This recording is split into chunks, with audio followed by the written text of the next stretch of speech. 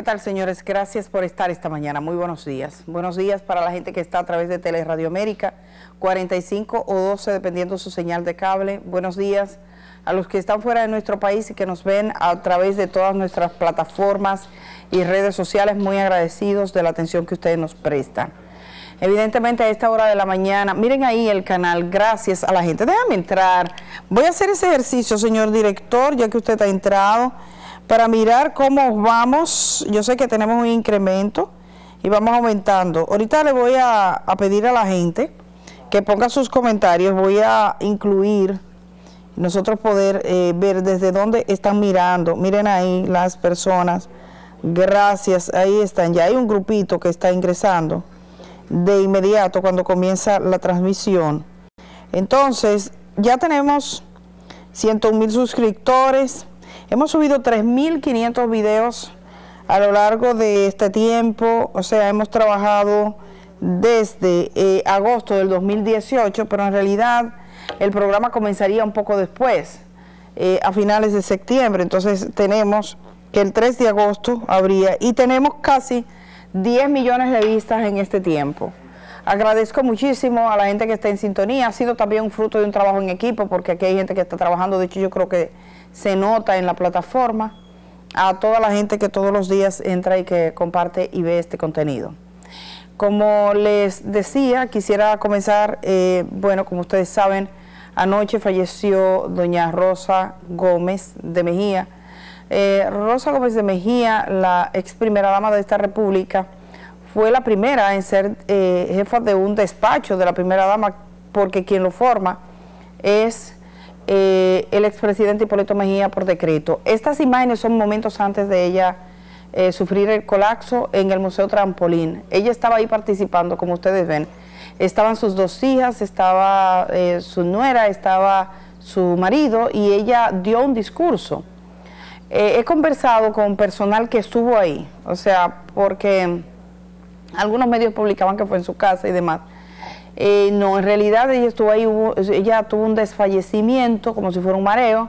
Ahí mismo la asistieron, la subieron a un vehículo de la familia y ya no hubo nada que hacer cuando llegó a la clínica.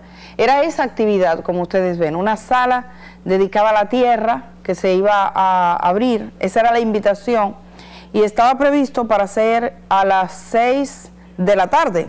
Entonces ella estaba invitada como fundadora del Museo Trampolín. Estaba eh, la primera dama Raquel Arbaje, estaba gente de diferentes instancias. Y bueno, antes de que empezara la actividad, doña Rosa tuvo una reunión. Y ahí ella agradeció, dicen que ella estaba muy contenta porque tenían una sala eh, nueva, porque vio mucha gente que ella conocía, que estaba trabajando en el museo. Y dicen que estaba hasta contenta, o sea, que estaba feliz. Eh, se paró, dio su discurso y todo lo demás. Fue aproximadamente a las 6 de la tarde, 42 minutos, o sea, 45 minutos después de iniciar la actividad, que ella sufre el, desvanecimiento y salen con ella. Estas fotografías eh, me la compartieron de, personas que estaban ahí porque la actividad se, llegó a realizar prácticamente y está ella de pie. Yo después de todo uno dice que es una forma, eh, porque ella tuvo una vida, ella era tenue de trato, leve en su trato, discreta, y así mismo fue su muerte. Una muerte tranquila, es decir, sin sufrimiento, si, si nos ponemos a pensar, ¿no? La gente dice siempre, porque si alguien cae enfermo, como que da tiempo a los otros a que se preparen, pero en realidad cuando pensamos en eso, estamos pensando más en nosotros que en los que, va, en los que se van.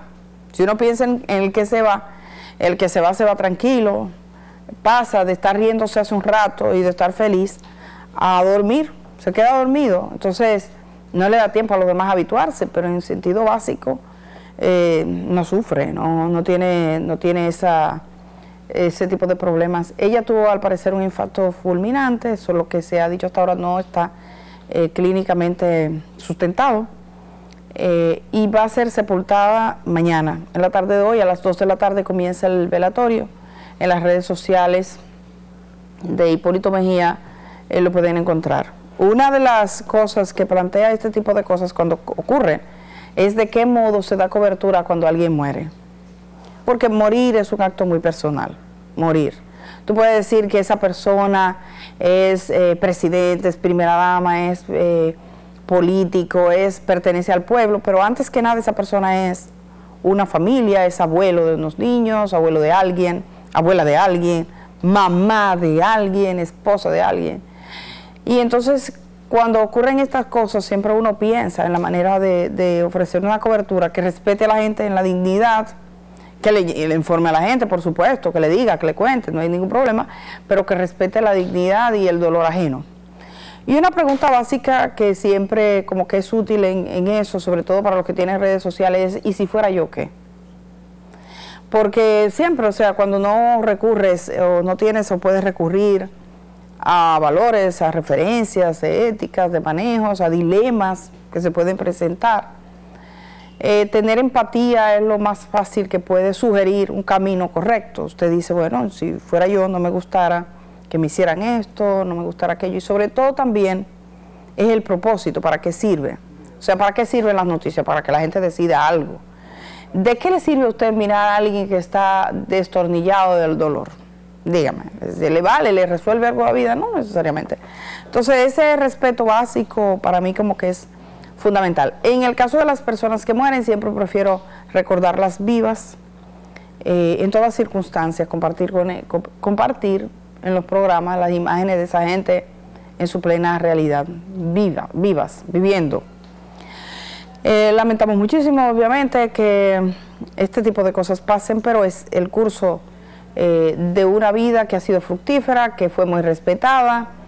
Ella fue una persona respetada, todo el mundo lo dice, una gente sencilla y de buenos tratos y de buenas maneras, de modo que difícilmente usted va a encontrar a alguien diciendo algo porque no, porque no existe. Además, eh, no, uso, no uso, uso del poder en un momento determinado para avasallar a nadie. Usted nunca vio a Rosa Gómez en nada de eso, sino que era alguien de su familia, bastión de una familia, básicamente. Nada, quería compartirle esas imágenes porque fueron las últimas. De hecho, algunos medios toman esa, donde ella está de pie, hablando en el micrófono, pero esas son los últimos momentos en realidad. Entonces uno siempre que esas cosas pasan piensa en la vida misma y en el sentido de la vida. En que siempre puede ser el último café o la última galleta. A, los hijos, a los que tienen padres mayores, que tienen papá, yo el mío murió, tenía 93 años y eh, me tomé todo el café que pude con él. Pero los que tienen papás, tienen mamás, tienen abuelos, abuelas, tenemos gente que queremos siempre se puede ser la última vez y entonces no te quedas con las ganas ni con los deseos, a veces tiene otras cosas. Y eh, cuando uno ve eso, siempre se recuerda de lo leve, la levedad, lo transitorio que es la vida. Es transitoria, o sea, entonces disfrutarla, pasarla en la medida de lo posible juntos. Ella perteneció a una familia que, que disfrutó como familia, eso no hay dudas y ellos muestran eh, sus nietos, sus hijos y todo lo demás. Pero se lo digo para pensar nosotros en la vida nuestra, ¿no?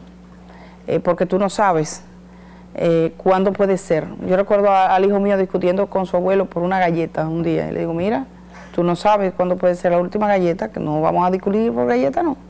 Chiquitico. Esas cosas así, o sea, era pequeñito, pero hasta los niños, para que sepan, y sobre todo a las personas mayores, cómo tratarlas y que la vida sea lo más ligera.